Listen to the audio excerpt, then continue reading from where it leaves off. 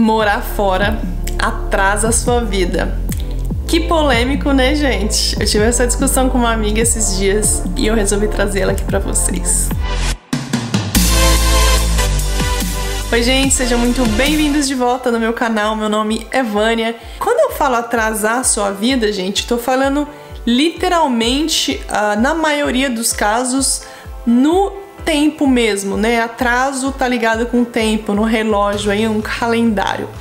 Eu já falei aqui em vários vídeos meus e eu gosto de desmistificar essa ideia que morar fora do país, que viajar para começar uma vida nova, é, são glórias, né? São coisas incríveis, a gente vive uma vida de sonho. E uma das coisas que pouco se fala é nos anos, nos tempos, nos meses, em tudo que você perde quando você muda, quando você decide é, fazer uma mudança.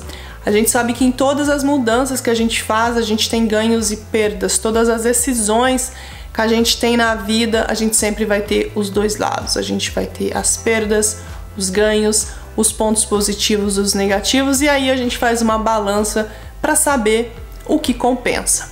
A gente tem que levar em consideração aqui o fato de eu estar falando de pessoas adultas, né, mais, mais adultas, que já têm, na maioria das vezes, um diploma, é, uma carreira, um começo de carreira, no mínimo estabelecido, que é isso que impacta muito é, você ter sucesso ou não para mudar de país. Uma das coisas, um dos pré-requisitos mais, é, mais importantes na, na, na, decisão de um país em te, te aceitar ou não lá como um cidadão ou como um residente do, do, do país é as questões é, relacionadas à profissão.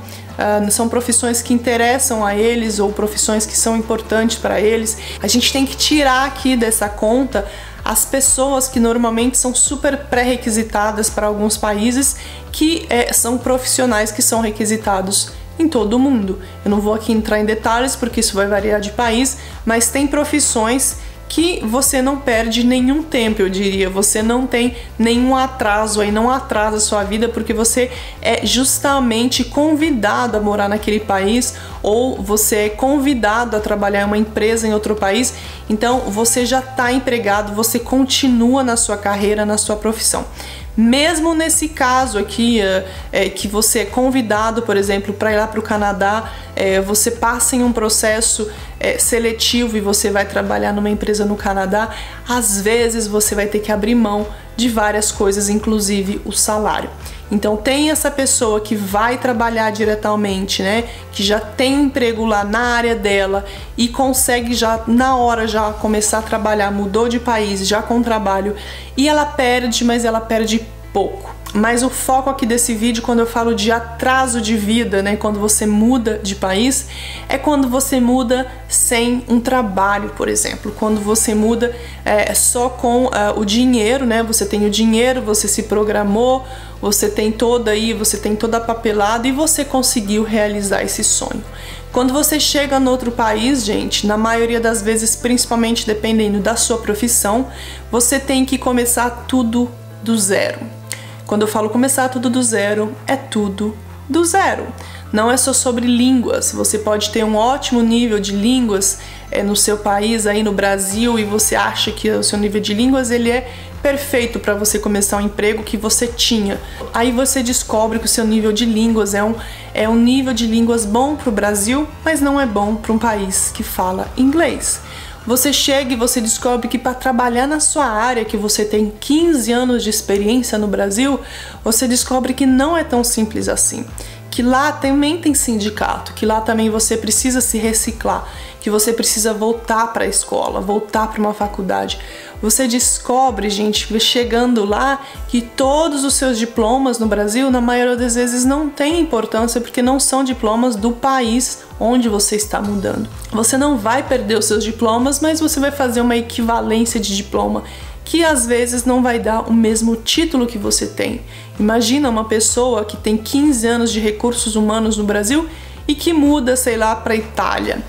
A Itália não tem as mesmas regulamentações trabalhistas, são outras leis. Imagina um advogado que muda de país. Então depende da área que você trabalha, gente, principalmente ligada a leis, a coisas administrativas, às vezes não vai rolar. Eu tô falando que você não vai voltar para sua área? Não, você pode voltar para sua área, você consegue voltar para sua área. Quando eu falo que atrasa a sua vida, é que você vai ter que dar muitos passos para trás. E não é todo mundo que está preparado para isso. E não é todo mundo que vai aceitar. Não é todo mundo que vai deixar um alto cargo em um país de origem para trabalhar, por exemplo, de taxista ou trabalhar em uma loja no shopping enquanto você consegue aí você tenta é, voltar para sua área. A maioria esmagadora das pessoas elas não vão conseguir voltar para a área de trabalho com tanta facilidade. Isso é ruim? Não, ou sim, depende de você. Então, o atraso de vida que a gente discutia é que quando você chega nesse país, você não vai poder estar no mesmo lugar que você estava no país que você acabou de deixar. Você vai estar vários passos para trás. E isso, gente, impacta em tudo, impacta no, no dinheiro, né, no financeiro, impacta na sua família, no seu psicológico. Então, quando a gente faz uma preparação, quando a gente decide mudar de país, depende da carreira, da área, do tanto que é importante. Então, tem gente que fazer faxina não tem problema nenhum. Tem gente que é advogado, é médico e chega no outro país e fala: Eu vou ser taxista, não tem problema nenhum. Então depende muito do que, que você quer fazer, dos seus objetivos e de quanto que cada coisa é importante para você. O quão importante é a sua carreira, o quão importante é você, é, o status, a altura da, do, do cargo que você tá. Tudo isso conta. Então, sim, você mudar de país, dependendo da sua profissão, vai atrasar muito a sua vida e vai te colocar no lugar que você estava na sua profissão há 5, 10 anos atrás, ou não vai te dar a chance, talvez, de voltar a ter a profissão que você tinha, ou não vai te deixar exercer com todas as facilidades que tudo que você tinha disponível para você. Isso é ruim, Vânia? Para mim, não. Para mim, eu acho interessante mudar de carreira, eu acho é, um pouco chato é, exercer a mesma carreira durante toda uma vida. Eu não tenho problemas em recomeçar do zero se for preciso, mas não é todo mundo que é assim. Depende da sua idade, principalmente, depende do lugar que você tá, depende do tanto que sucesso profissional é importante para você, depende de se você dá mais valor para qualidade de vida ou para status profissional. Então, quando você decide mudar de país, quando você decide começar aí uma pesquisa sobre onde você quer morar e se você quer ter uma experiência fora, é muito importante ter a consciência que tudo que você construiu até agora vai sim te ajudar, falando mais uh, principalmente do meio profissional, vai te ajudar, mas não vai te colocar onde você está. Você provavelmente vai dar passos para trás, vai atrasar esse processo às vezes esses passos para trás vão te ajudar, eles vão te levar muito mais longe do que você poderia estar se você tivesse ficado, por exemplo, no seu país, ou não, ou daqui 10 anos você vai estar patinando porque nem a língua direito você domina.